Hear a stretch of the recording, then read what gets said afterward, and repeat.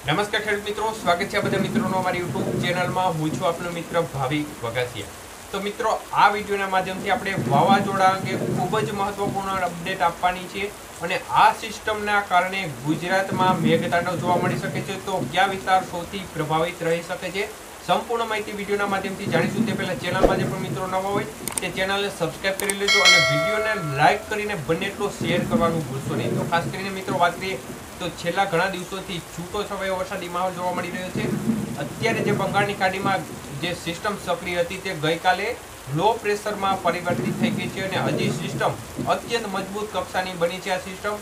તો હજી પણ ઉત્તરો ઉત્તર આજે બપોર બાદ અથવા તો આવતીકાલ સુધીમાં આ સિસ્ટમ ડીપ ડિપ્રેશન લેવલથી લઈ અને વાવાઝોડાની કેટેગરી સુધી મજબૂત બની શકે છે.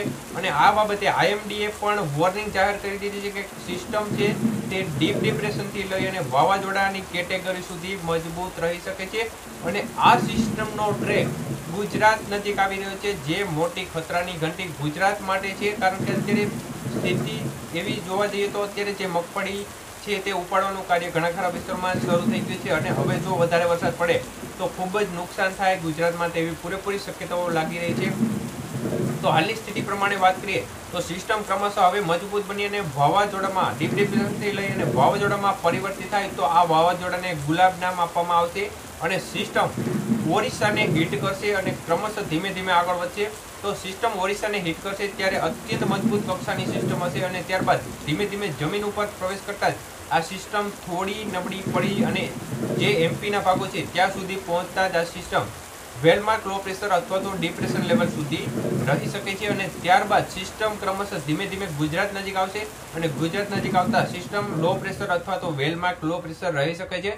પરંતુ ત્યારથી ફરી અરબી સમુદ્રના પવનોનો જે સપોર્ટ છે તે મળશે અને જે અરબી સમુદ્રના ભેજયુક્ત પવનો છે તે સિસ્ટમને મળવાનું શરૂ થશે અને ફરીથી સિસ્ટમ ગુજરાત નજીક આવતા જ મજબૂત બની અને વેલમાર્ક લો પ્રેશરથી લઈને ડિપ્રેશન લેવલ સુધી મજબૂત બનશે એટલે ગુજરાત માટે ખતરાની ઘંટી છે કારણ કે ભારેથી અતિ ભારે વરસાદ ગુજરાતના ભાગોમાં જોવા મળશે. અને આ સિસ્ટમ ખાસ કરીને અત્યારની સ્થિતિ અને અત્યારના ટ્રેક પ્રમાણે મોડેલ પ્રમાણે જોવા જઈએ, તો સિસ્ટમ સૌથી વધારે પ્રભાવિત દક્ષિણ ગુજરાત અને દક્ષિણ સૌરાષ્ટ્રના વિસ્તારોને કરી શકે છે. અને આ વિસ્તારમાં મેઘતાંડો જોવા મળી શકે છે અને અતિ ભયંકર વરસાદ આ વિસ્તારમાં જોવા મળે તેવી પૂરેપૂરી શક્યતાઓ અત્યારની સ્થિતિ પ્રમાણે જોવા જઈએ તો લાગી રહી છે. પરંતુ અત્યારે હવે ચોમાસું જેમ જેમ પૂરો થવાનો સમય નજીક આવતો હોય છે, તેમ તેમ સિસ્ટમોમાં ટેકમાં મોટા ફેરફાર પણ જોવા મળતા હોય છે. એટલે હજી એકાદ દિવસની અંદર કોઈ પણ પ્રકારના ફેરફાર થાય, તો તે બાબતે પણ આપણે સતત અપડેટ આપતા રહીશું. પરંતુ અત્યારે ગુજરાત માટે ભારેથી અતિ ભારે વરસાદ ઘણા ખરા વિસ્તારમાં પડવાનો છે અને ખાસ કરીને મુખ્ય ટાર્ગેટ મધ્ય પૂર્વ ગુજરાત, દક્ષિણ ગુજરાત અને દક્ષિણ સૌરાષ્ટ્ર, પૂર્વ સૌરાષ્ટ્રના વિસ્તારો રહી શકે છે. અત્યારની સ્થિતિ પ્રમાણે જોવા જઈએ તો આ વિસ્તારમાં રીતસરનું મેઘદાંડો પણ આ સિસ્ટમ મચાવી શકે છે અને ડિપ્રેશન લેવલ સુધી ગુજરાતમાં આ સિસ્ટમ મજબૂત રહી શકે છે.